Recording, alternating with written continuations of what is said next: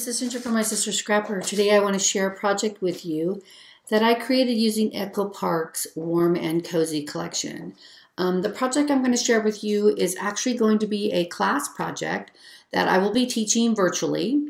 And you're going to say, well, how do I get into the class? The way to get into the class is you need to purchase your kit. And well, where do I purchase the kits? The kits can be purchased from two different locations. You can purchase a kit from Creative Chaos in Circleville, Ohio. And you, again, this is going to be a virtual class, so they will ship kits to you, so you don't have to live in that area to buy your kit. Just contact the store and they uh, with your information, and they will ship out your kit to you. Also, you can uh, purchase a kit from Simple Pleasure Scrapbooking in Colorado Springs.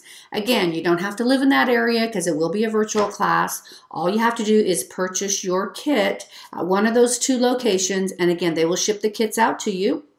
Um, they'll have all the information as far as the cost of the kits and all that good stuff. Once you purchase your kit, they will add you to the Facebook group where I will be teaching the actual project.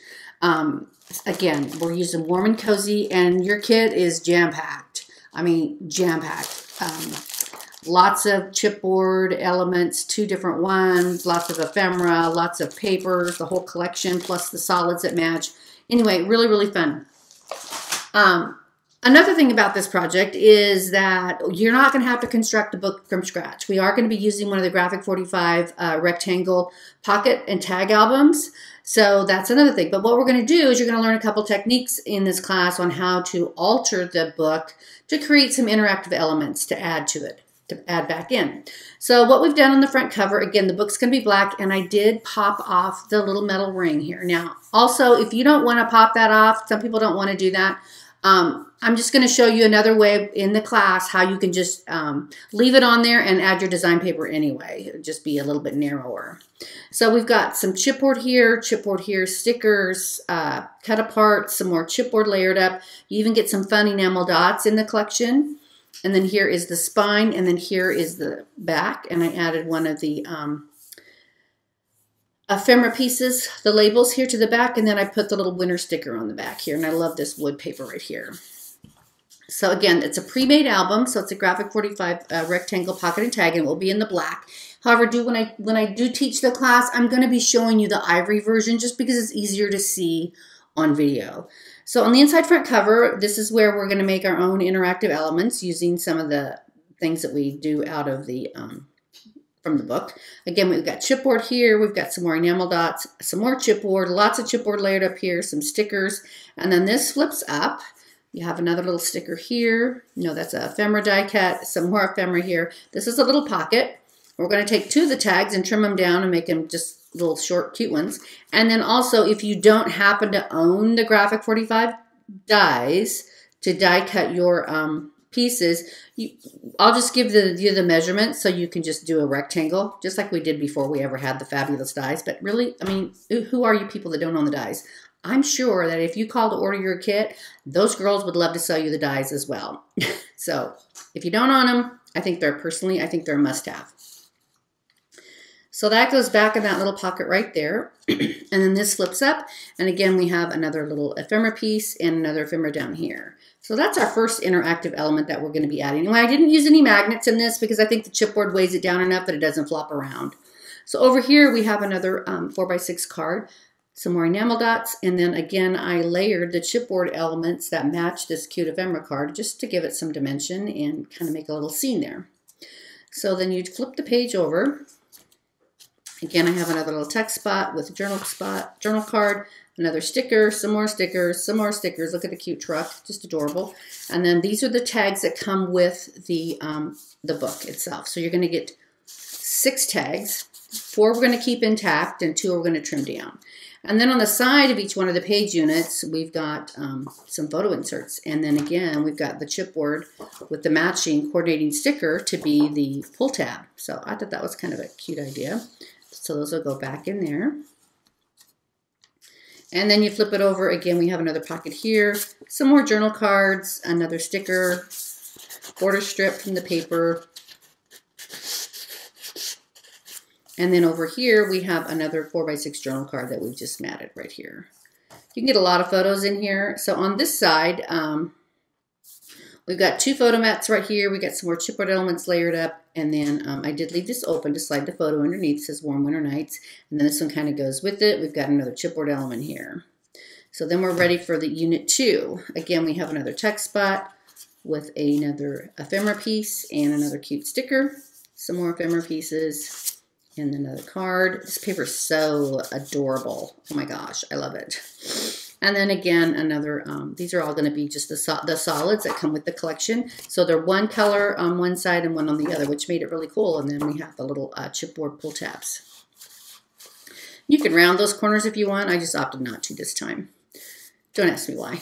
again, some cute snowflakes and some more um, 4x4 and 3x4 journal cards from the paper another little text spot, a little sticker that says winter, and another 3x4 journal card, and a piece of ephemera. So then over here, this is um, some more interactive elements that we're going to create. We got a big space here because um, what we did is we altered the book a little bit, and then we added this really cute little piece of design paper here with all the little wooden logs. So these are supposed to be kind of a mirror image as close as I could get it. Um, so we've got a journal card here. We've got a chipboard element and some cute little enamel dots. And then you flip it up. And again, it's just like the first one on the first inside front cover, but this is a little bit bigger. So again, I left that open. Again, we have a sticker. And then we have a cute little insert here. This is a 3x4 card that I just mounted on some of the solids. That goes back in there and then you flip it up. And again, we have another little journal card that I put on the blue paper, cut around it. So they're three by four cards and they're mounted on a three and a quarter by four and a quarter um, solid.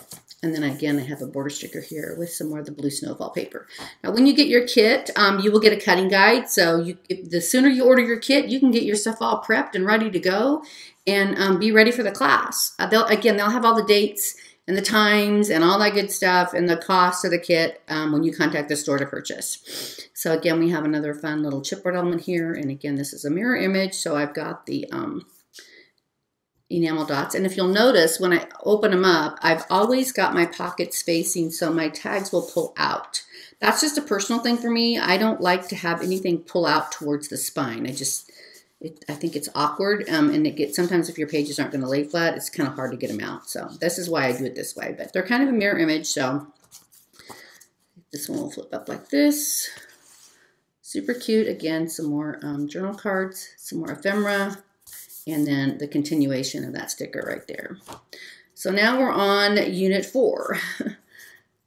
You flip it over, and again, I have another photo mat that I made, and again, another tag from the ephemera pieces. Again, some more ephemera, a little snow sticker, a little sled sticker, and another Graphic 45 tag. And then here is the insert for this one with the fun little animals on it. I thought this was really cool that they had chipboard that matched the little sticker, so that made it great to make pull tabs. Very clever. Over here, again, I have another 4x6 uh, cut apart, and then I've got some enamel dots and a cute little chipboard moose sticker. And over here, I've got a sticker here with some ephemera, a couple of chipboard elements that I layered on top, and another photo mat. So the last um, unit, we've got a tuck spot here with a 3x4 journal card, cute little banner sticker. The rest of it's over here. It says Snuggle Up. And I love this paper right here. So pretty, little wooden cabin. And then we've got this one here with the cute little, again, chipboard tag. And then the little sticker that coordinates, that matches. So cute. Over here, again, another piece of ephemera. Another 4x4 journal card. Another 4x4 uh, ephemera piece. We've got the little cute little cardinal sticker there, and I made a little photo mat to tuck in there, and then made it just a little banner, just flagged the ends of a strip of paper.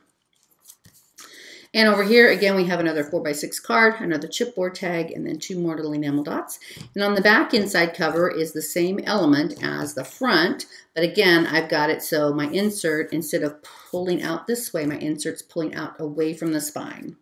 Chipboard here, cute chipboard truck, chipboard sled. I made a little banner with the wood pick grain paper. And then again, some stickers here on top, some ephemera. Again, another piece of ephemera. And here's a little short, little cute tag for this one. And then you flip it up. Again, some more stickers. And a little snowman sticker and a little banner sticker here with some more design paper. And that is the back. So there you go, everybody. That's the really fun project. I'm super excited about, te for, about teaching this for um, Kathy Smith from Simple Pleasures and for Angela Beavers from Creative Chaos. So make sure you contact either one of those stores to purchase your kit. And um, I'll have the information, their contact information in the description box below. So there you have it, everybody. Make sure you join in because it's going to be really, really fun. Again, it's warm and cozy, Echo Park. There you have it. Thanks for watching. Bye.